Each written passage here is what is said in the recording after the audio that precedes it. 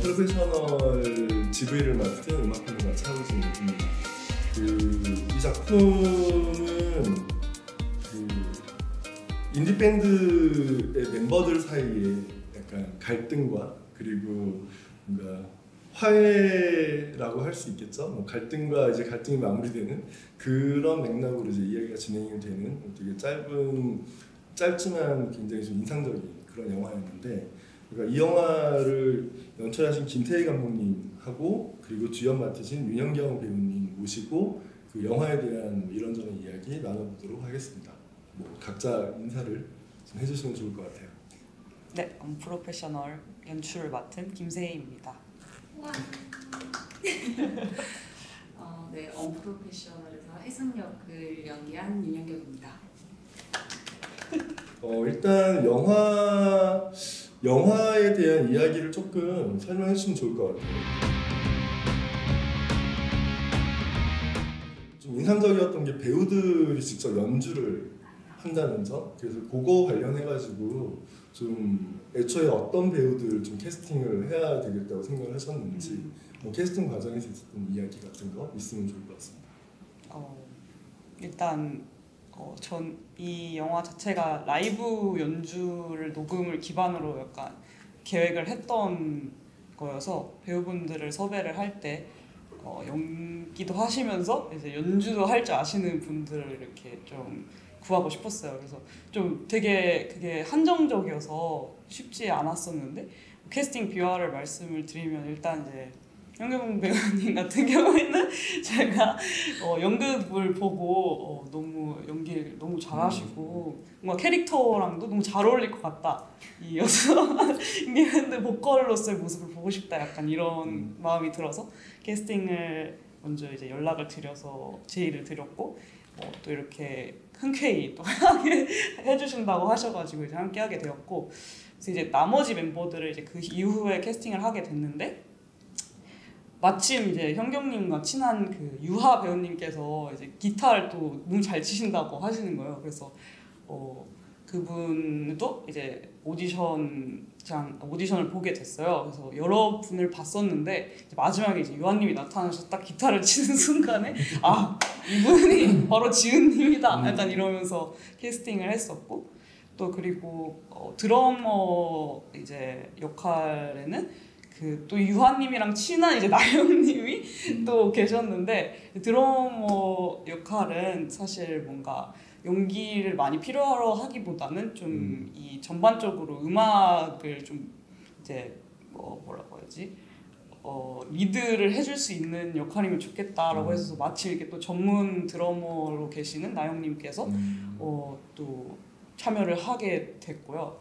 그리고 이제 어, 베이시스트 현우 역할의 이제 세웅님 같은 경우에는 제, 제일 어려웠던 것 같아요. 뭔가 베이스를 치는 사람이 또 악기 중에서 제일 약간 적은 편에 속하기도 하는데 연기를 하면서 베이스도 칠 줄 아는 분을 이제 막 구하고 또 이제 얼굴도 좀 잘생긴 역할이어야 이게 뭔가 개연성이 있으니까 이 모든 삼박자를 약간 맞출 수 있는 사람을 찾다가 이제 세영님을 어, 오디션을 통해서 만나게 됐고 이렇게 캐스팅을 하게 되었습니다. 음. 그 현경님은 어떠셨어요? 처음에 이거 이렇게 제안을 받았을 때 그 이야기와 그 대본을 봤을 때에 이 주인공의 캐릭터가 약간 약간 어떤 느낌으로 해야 될까? 전 사실 다른 것보다 노래를 해야 된다는 음. 게 가장 큰 부담이 네네. 었던 것 같아요. 음. 제가 정말 노래방용이라서 뮤지컬 꿈도 못 꾸는 그런 사람인데 아 그래서 계속 오디션처럼 미팅을 할 때도 이제 세희 감독님이랑 합주실에서 만나서 음. 노래를 한번 이제 불렀어요. 근데 아막 진짜 막 미쳐버리겠는 거예요. 막 아 정말 괜찮으시겠냐고. 근데 세희 감독님 너무 좋다고 네네. 괜찮다고. 저는 너무 좋았습니다. 그걸 이제 시작으로 거의 세 달 동안 저는 감독님 괜찮아요. 그리고 감독님이 괜찮아요. 형님 계속 이러고 세 달 동안 괜찮아요를 네, 주고받으면서 찍었어요. 어,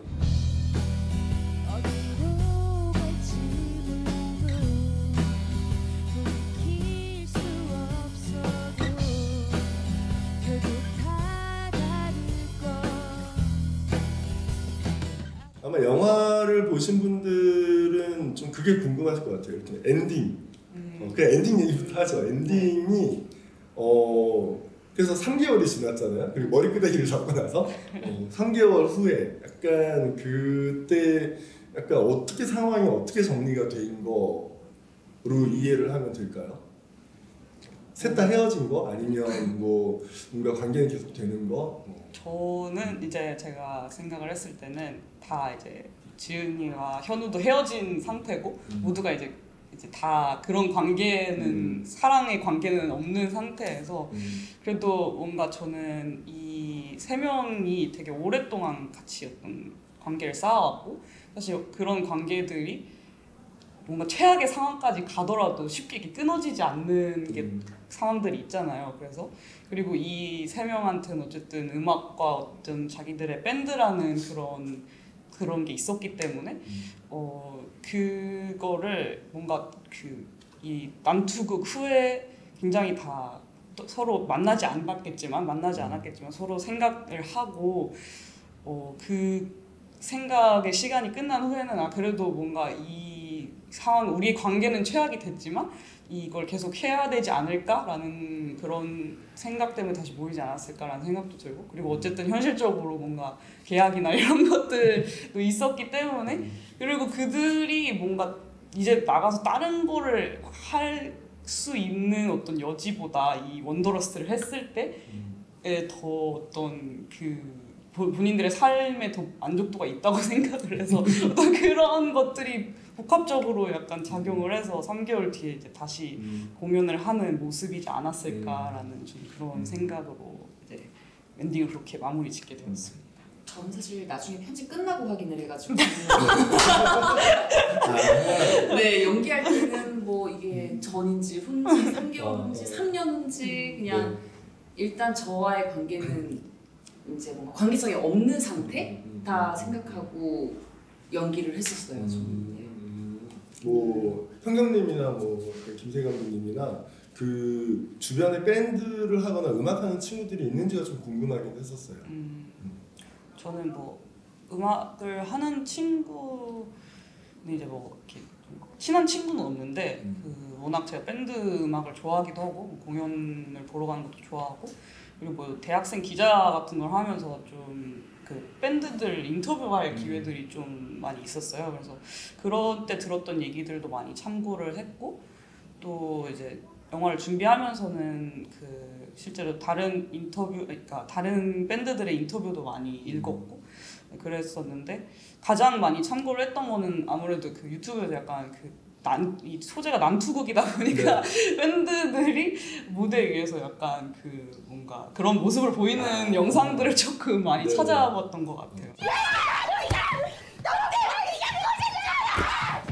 일단 저는 유하 배우가 음. 유하 언니가 저랑 되게 친한 언니인데 음. 같이 공연도 했던 학교 네네. 선배인데 언니가 밴드를 준비를 했었어요. 아. 그 기타 실력이 네네. 언니랑 나영이랑 같이 밴드 데뷔를 준비했던 음. 사람들이었어서 애초에 언니가 밴드 뭔가 이렇게 관련된 그런 사람이었기 때문에 뭔가 그 분위기를 확실히 만들어줬던 것 같아요. 음. 저희 합주할 때도 네네. 진짜 제가 밴드 보컬이 된 것 같은 느낌이 드는 거예요. 막 태우님 또 버스킹을 하시는 아, 분이시고 아. 그래서 음.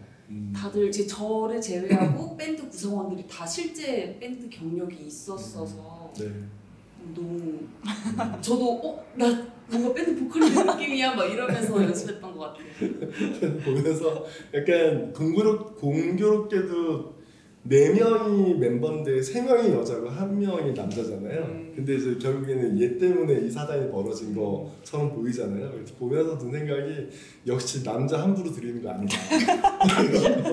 이런 생각 들면서 어, 역시 남자 함부로 약간 밴드 드리고 이런 거 아니다라는 생각을 하면서 역시 막 약간 제 그냥 솔로 하라고 하는 막 이런 생각을 했었거든요. 그래서 좀 그런 게 좀 재밌었고 약간 좀 요즘 분위기 였던 것 같아요. 그러니까 보통 옛날 20세기 뭐 그때는 사실은 남자들이 다 멤버들이고 여자가 이제 한 명 있으면 보컬 아니면은 뭐 베이스 이랬던 것 같거든요. 음. 근데 요즘에 보면은 뭐 전원이 다 여성 멤버들이거나 아니면은 어, 좀 특이한 것들은 드럼 치는 여성 멤버들 되게 많아졌어요. 음. 그래서 그런 것들이 되게 약간 어 요즘 느낌이다 라는 생각을 좀 했었고 좀 흥미로웠었는데 그 저는 이제 음악도 좀 특이했던 게 오리지널 곡이잖아요.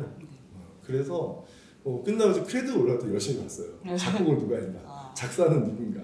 했더니 작곡이 최혜진님. 작사죠. 예, 아 작사. 그다음 김주현님이 작곡 맞아요. 을 맡으셨더라고요. 그리고 보니까 현장 녹음 타이틀에 또 그 김주현님. 있어서 약간 이분 도대체 뭐 하는 사람인지 제 약간 좀 동기예요. 그 음악 감독님 김주현님은 이제 원래 검은고를 연주 아. 전공을 하신 분인데 네. 이제 또 작곡도 하시고 음. 또 현장 녹음도 하실 줄 아셔서 음. 이제 마침 이제 제가 이런 이런 영화를 찍고 싶다라고 했을 때 아 그러면 뭐 함께 해보겠다라고 해주셔가지고 그 이제 곡을 세 곡이 나오는데 영화 속에 네. 그 곡을 이제 제가 뭐 내용에 맞춰서 약간 이런 느낌으로 뭐 맨 처음 곡을 만들고 싶고 뭐 이런 느낌으로 만, 이두 번째 곡 만들고 싶고 마, 마지막 곡 이런 느낌을 만들고 싶다 이렇게 이런 대화를 하면서 조금 음. 영화 속의 음악을 만들어 갔고 그리고 먼저 이제 작사를 먼저 해서 주는 게더 음. 편하다고 네. 하셔가지고 그 근데 제가 또 작사를 직접 해볼까라고 생각도 음. 했는데 좀 너무 자신이 없더라고요.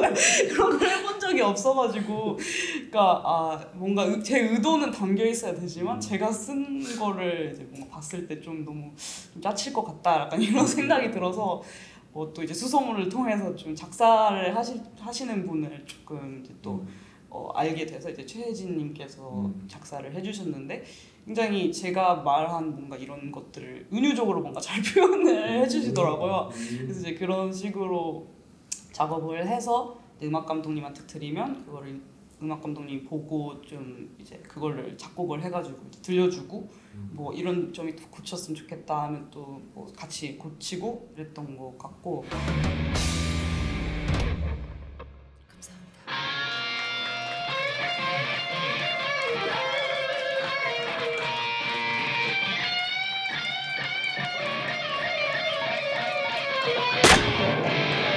연기하는 입장에서는 두 가지 미션인 거잖아요. 하나는 연기도 해야 되는데, 그러니까 이 스토리를 따라가면서 연기도 해야 되는데, 한편으로는 동시에 연주와 노래와 이 라이브 하는 장면도 커버해야 되는 거고, 근데 그게 기존에는 노래가 아니라 처음 받아보는, 거의 난생 처음 받아보는 노래인 거잖아요. 그럼 그것도 연습해야 되고, 뭐 어떠셨어요? 저는 그냥 마냥 너무 재밌었어요. 음. 연습할 때 네. 막 저희가 심지어 막 넘쳐서 감독님 안 오셔도 된다고 우리끼리 연습할 수 있다고 막그 밴드 데뷔해버리고. 네, 진짜 우리 음악 내자고 막 그리고 네. 사라진 음악들도 너무 음. 많고 중간에 이제 잘린 어, 음악들 네네. 근데 그냥 아 가수들이 이런 기분일까? 내 음. 노래 하나 이게 데뷔되지 빛나지 못하는 이 노래 안녕 눈물 내가 이러고 어, 근데 뭔가 되게 어 그냥 모든 순간들이 다 너무 특별했던 음. 것 같아요. 뭔가 우리 이 밴드를 위한 노래도 생기고 음. 이거 우리가 정말 오리지널로 연습도 네, 네. 하고 나중에 우리 공연도 할 거야. 막 음. 그러니까 음. 뭔가 사실 연기는 그렇게 큰 음. 저에게 힘겨움이 없었거든요. 네. 노래가 너무 좀 걱정이었는데 즐거웠지만 부담감이 있었다고 그 정도였던 것 같아요. 이제 인디 밴드 그다음에 뭐 프리랜서도 그렇고 요즘에 뭐 말하는 뭐 개념으로 치면 뭐 free worker 뭐 이런 개념으로도 많이 설명을 하는데 독립 영화도 그렇고 이 independent라는 개념에 대해서 어, 좀 어떻게 각자 생각을 하고 계신지 이런 것도 좀 궁금하긴 했어요. 음, 어, 일단 인디 음악도 그렇고 독립 영화도 그렇고 굉장히 뭔가 거대 자본이 들어있지 않은 어떤 그 열악할 수도 있는 열악한 환경에서 뭔가를 만들어내는 작업들이잖아요. 그래서 아무래도 이제 큰 장점이라고 하면은 뭔가 창작자들의 어떤 그런 의도나 그런 하고 싶은 메시지를 조금 더 자유롭게 뭔가 발산을 할 수 있는 그런 환경이라고 생각하지만 어쨌든 대부분의 독립 영화를 하고 인디 음악을 하는 사람들은 그 너머의 어떤 산업에 어, 나아가서 더 많은 사람들이 본인들의 영화를 보고 음악을 들어주기를 바라고 있, 있, 있으니까 뭔가 저는 그 상태가 굉장히 그냥 그 불안하고 말씀하신 것처럼 불안하기도 하고 뭐 자아에 대해서 뭔가 되게 고민을 하기도 하고 하지만 어쨌든 가장 잠재력이 있는 상태라고 저는 생각을 하고 뭐 음, 그래서 좀 어, 대단한 것 같아요. 뭔가 그거를 계속 한다는 것 자체가 그 독립 영화나 인디 음악을 한다는 것 자체가 어쨌든 막연한 어떤 그 목표를 가지고 가는 거기 때문에 그래서 저도 그런. 네. 그렇습니다. 네. 저는 뭐 독립 영화나 인디 밴드를 지속한다라고 하면 좀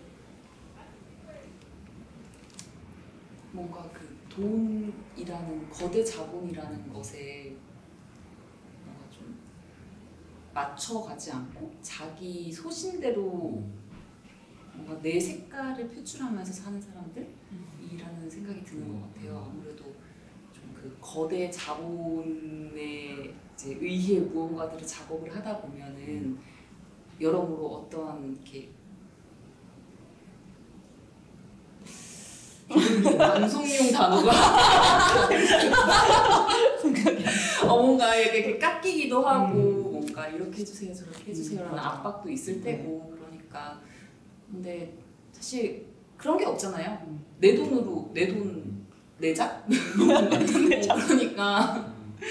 오히려 음, 멋있고 가끔 보면 더 재밌어요. 더 참신하고 새롭고 그런 거 음, 마지막으로 어, 이 영화를 보신 분들 관객들에게 두 분이 아마 하고 싶으신 말씀이 있을 것 같아요. 그러니까 영화에 대한 이야기도 좋고 아니면 방금 하신 얘기에 좀더 이어서 뭐 약간 좀 못한 이야기라고 할 수도 있으니까 그런 내용들을 짧게 한 마디씩 부탁드려볼게요. 일단 어, 이 영화를 3년 전쯤에 촬영을 했는데 그 이 영화를 만들면서 이렇게 극장에서 그 개봉을 할 거라는 생각은 전혀 하지 못했어서 되게 운 좋게 이렇게 어, 이 슈퍼스 프로젝트를 통해서 관객들과 만나 뵙게 됐는데 뭐 보신 분들에 따라서 뭐 다양한 생각을 들으셨을 수 있을 텐데 어, 일단 봐주셔서 정말 감사하다는 말씀을 하고 싶고요.